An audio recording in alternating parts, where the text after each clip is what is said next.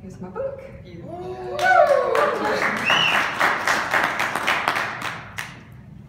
so, um, Eat, Dance, Shine. It says, why feel your age when you could feel amazing? I've got to read it. How to come alive, gain energy, and push back the years. So um, I'm going to hold on to my notes to begin with. So for many years I said I wanted to write a book and I think what really appealed to me was a romantic idea of being a writer and sort of sitting and writing. Uh, but I actually didn't know what to write about. And I sometimes said to my husband, I'd like to write a book, but you know, what, what could I write about? And, um, you know, it's already been said, hasn't it? So many people have written books, it's been said before, um, and who am I to write a book anyway?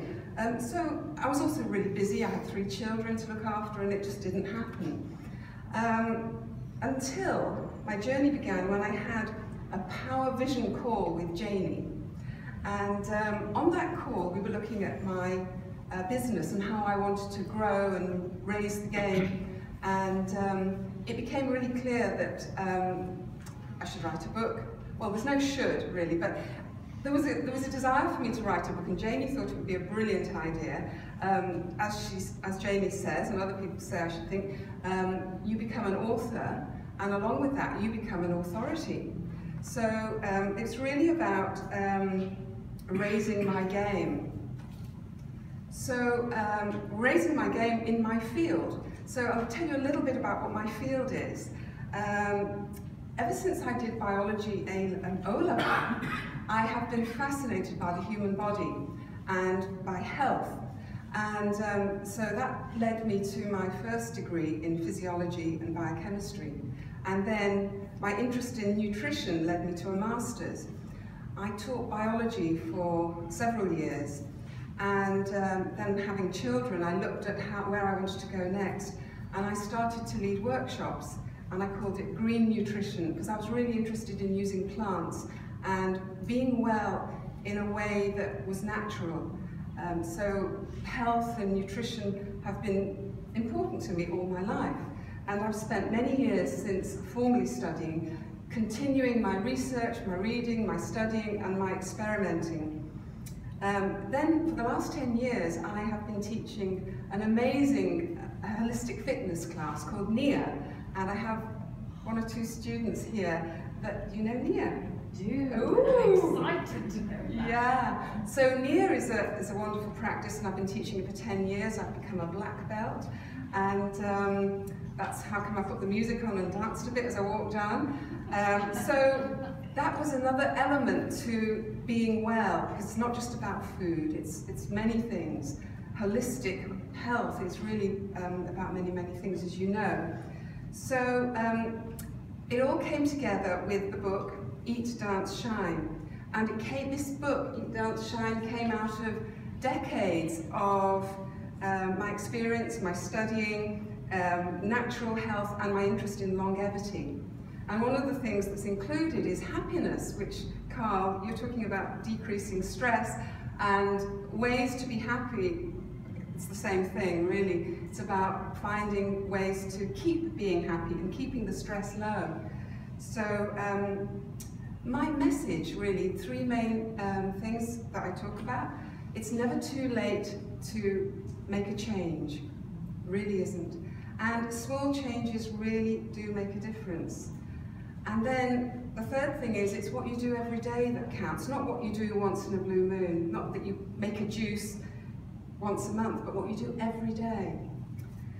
So um, my book just briefly covers, just to say briefly, what my book covers everything from how to increase um, more plants, more vegetables, more fruit in your diet, um, how to make your own probiotics, um, what are superfoods and why should I take them, I've got a great chapter on chocolate called Chocolate Revealed. You'll be happy to know it's really good for you. It's, if it's dark, low sugar, zero dairy, and a small amount. And also the first chapter is dietary dogma versus freedom. So really it's about finding out what works for you and becoming sensitive, becoming a sensation scientist. So you really listen to your body as it speaks to you. My body likes that. I don't know why, but it likes it. My body doesn't like that. I'm going to leave that. And then developing that awareness. So it's, it's not pre prescriptive, it's really um, encouraging you to find your way with your body because you're unique. So, how did I get to today? So Chris asked me to say something of my journey. How did I get to be uh, standing here talking to you about my book? Ah, still can't believe it. Um, so um, it was this call with Janey in 2014 that started the ball rolling. And um, it was, you know, really um, quite a steep learning curve. Um, it's, uh, I, I, think it's not for the faint-hearted. Um, you know, it's really, you know, you have to really persist. And um, so uh, there were certain things that were uncomfortable for me, and Chris asked me to talk about things that were challenging, uh, so that, you know, people who are looking at doing this or would-be authors um, can learn possibly. Um, so um, once a week I received from Chris milestones. You may know what I'm talking about, but it's a wonderful system that Chris has. And these milestones arrived on a Monday morning in my inbox, and I needed to you know, look at them and go, yep, done that, can do that, yep, da, da, da. And sometimes I didn't know what they were.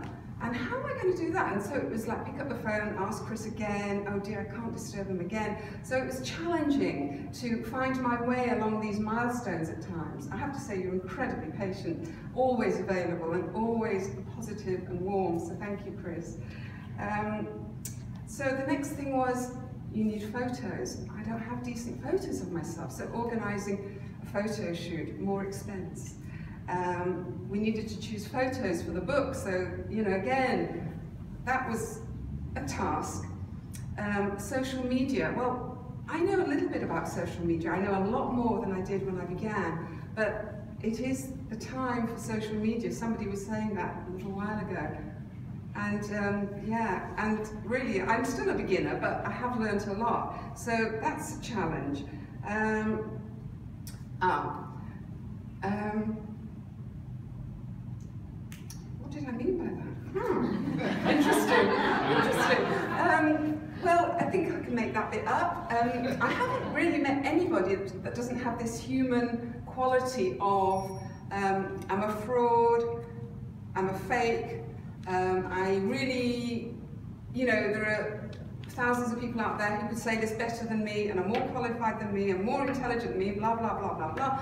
And this is where I started to use my skills um, to stay happy and really overcome that. And one of them in the book that I write about is EFT, also known as tapping. Uh, you may have come across that, so it's really uh, moving beyond those fears and those limitations. So that, um, go for a walk in nature, that's what I did. I walked my talk, I put on some great music and I danced a little bit and then, ah, yes, feel much better now. And then on, on I went.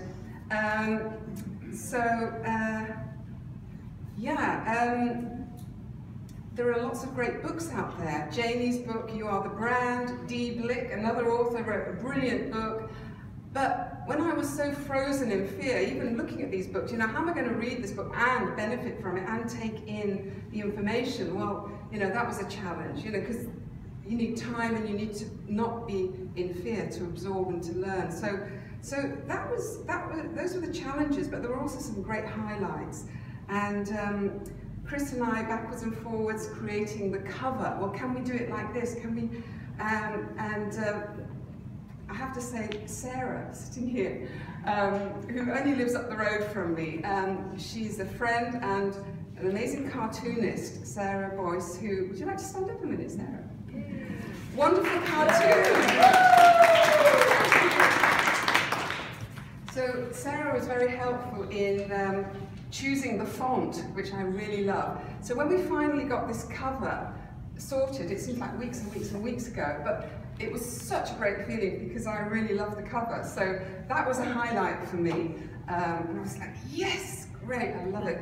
Um, then um, the founder of NIA, the, the, holistic fitness class I teach, who lives in Portland, Oregon, she agreed to write the foreword for my book, um, which was amazing. And she offered to do a podcast interview for me and asked me to send a blog, and she would put it all out on her, on her, it's our, because I'm part of it, um, the, the NIA Now website, which reaches 3,500 teachers all over the world and their students. So that's going out this week. So that was fantastic when that happened. Um, then Janey and I did an interview um, for promotion and uh, that was great. Really enjoyed doing that and it's, it's available on YouTube and on my website and I'll be sending it out some more. Maybe you have an opportunity to post it as well. Of course. Yeah. Um, and then uh, the last highlight for me was um, receiving the sample copy in the post. Mm-hmm. Uh, the one book, I don't know if you, any of you remember that, but you know, for approval, when it came and I opened up the jiffy bag and I actually held the book in my hand, it was just quite an incredible experience. So yeah, that was amazing too. Um, and as for right now today, um, I love um, uh, Homer Simpson. Yeah. He was standing um, looking at a calendar and it was um, a Larson cartoon calendar, so, and he's going, I don't get it, I don't get it, I don't get it. And I've been saying that all day, I don't get it, I just don't get it, you know, it's like, it'll sink in eventually that it's happened, but you know, it's, it's you know, I don't get it. Um, so, um, but but now I've come to this place, which is really great, and I realise it's the beginning of a new adventure for me. And I don't know what that is, but it's just next foot forwards, and we'll see. So thank you, Chris.